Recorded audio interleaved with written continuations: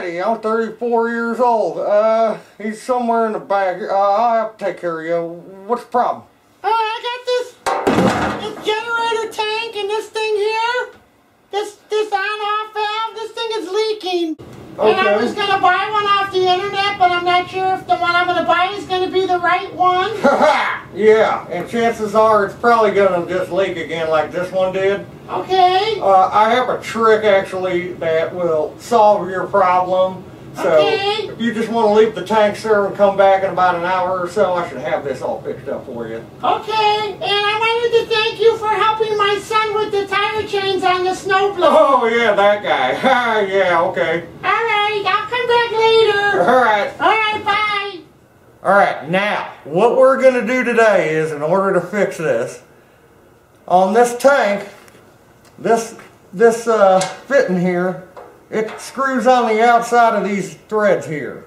So what we're going to do is take one of these smaller hole ones, and we're going to tap this out, and we're going to stick it inside there, and it's going to be inside instead of covering the outside.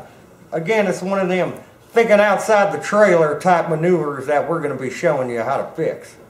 Taryl Sr. had to take a sick day. He had some bad Rocky Mountain oysters, and boy, is he tore up. Ha ha! So, in order to fix this, you need a fitting like this. You need a 1 8 pipe tap. You need some Teflon tape, some grease,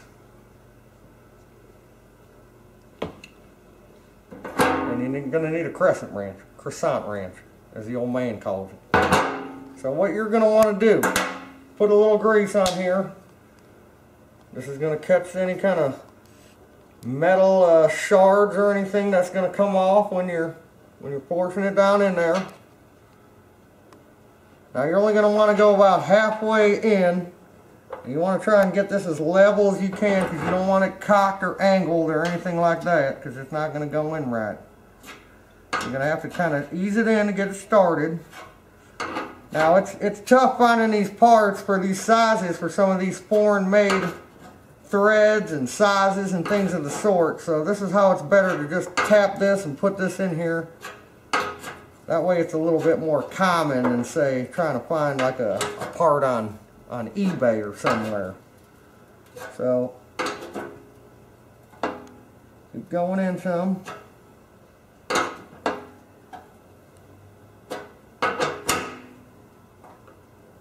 Again, you want to go about halfway in.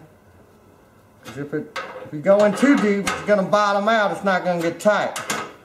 And you also, also run the risk of cracking this or breaking off the tap in there, and then it's going to be near impossible to get that out. That's real hardened steel in there. You want to go in, again, about halfway. See if we can get this, speed this up a little. And then you can always take it back out and check and look and see about how deep these threads are.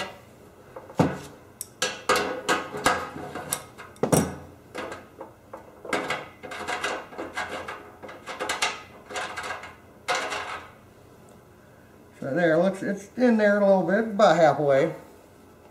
Now you're going to want to take some Teflon tape.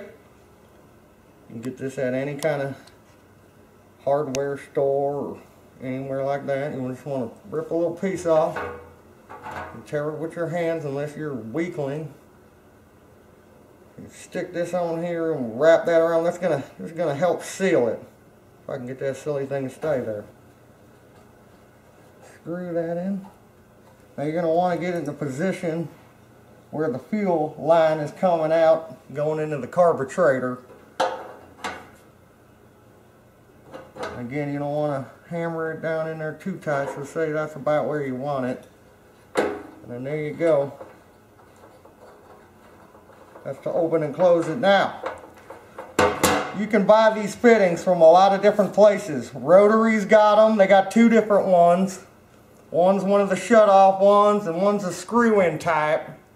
The rotary number is 11271 or 1347. Stens's got them. 120-279. Oregon. 0707 dash 400. You can get all kinds of different fittings. Tap it out, tap that one in. And when you pour gas back in it, boom. And there's your dinner.